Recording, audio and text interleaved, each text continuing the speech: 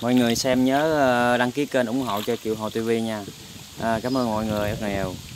Trắng mới trắng. Trắng vậy.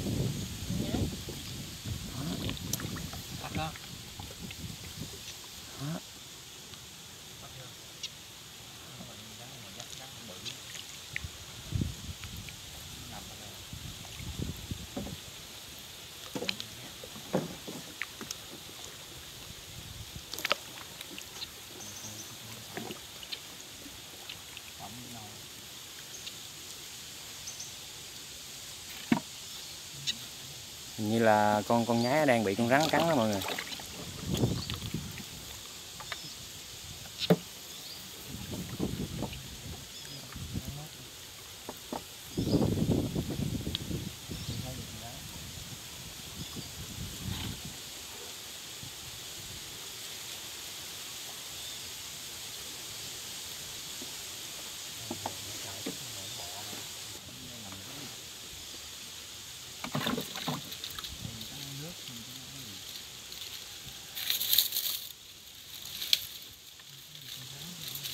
Con nhai chiều nào lớn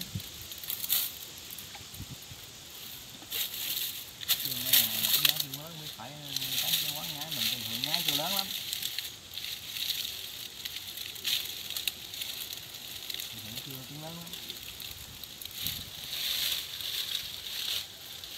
không thấy rắn cả nhà nhái cũng im re luôn rồi.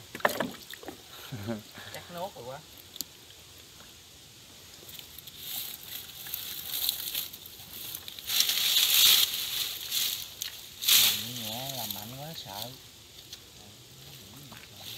chạy à.